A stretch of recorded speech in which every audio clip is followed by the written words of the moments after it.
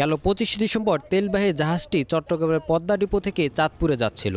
ভোররাত্রে ভোলার মেঘনায় প্রায় এগারো লাখ চৌত্রিশ হাজার লিটার তেলসহ জাহাজ সাগর নন্দিনী ঘন কুয়াশার কবলে পড়ে। এ সময় অন্য একটি জাহাজের সঙ্গে ধাক্কায় ডুবে যায় সেটি। তেল ছড়িয়ে পড়ে সাগরে। প্রাথমিকভাবে কোস্টগার্ড ও বিআইডব্লিউটিএ চেষ্টা চালিয়েও উদ্ধার করতে পারেনি। পরে চূড়ান্ত উদ্ধারে চাঁদপুর থেকে উমায়রা ও জোহর নামের দুটি উদ্ধারকারী জাহাজ আসে উনত্রিশে ডিসেম্বর। রোববার ভোর থেকে বেসরকারি উদ্ধারকারী দুটি বার্জের উইঞ্জের মাধ্যমে শুরু হয় অভিযান। প্রায় তিন ঘণ্টার চেষ্টায় ডুবন্ত জাহাজটি উদ্ধার করা হয়। এরপর জাহাজটি থেকে সাগরনন্দিনী তিন ট্যাঙ্কারে তেল ও পানি অপসারণ করা হয়।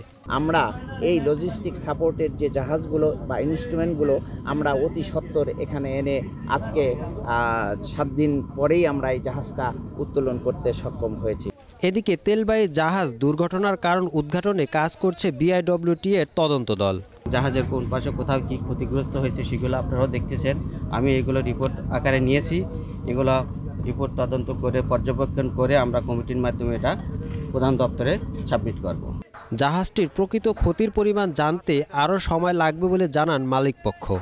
আমরা আশা করছি আজকের ভিতর আমরা অপারেশনটা কমপ্লিট করতে পারব এবং আমাদের নেক্সট প্ল্যান জাহাজটা আমরা আমাদের আরেকটা কোস্টার ভ্যাসেল সাগরবধূ তিন এটা দিয়ে টো করে ঢাকায় নিয়ে যাব। কোস্টগার্ড এর সার্বক্ষণিক সিকিউরিটি পারপাজে রয়েছে এবং পরিবেশ যেন দূষিত না হয় এজন্য আমাদের জাহাজ নিয়ে আমরা স্ট্যান্ড বাই অবস্থায় আছি।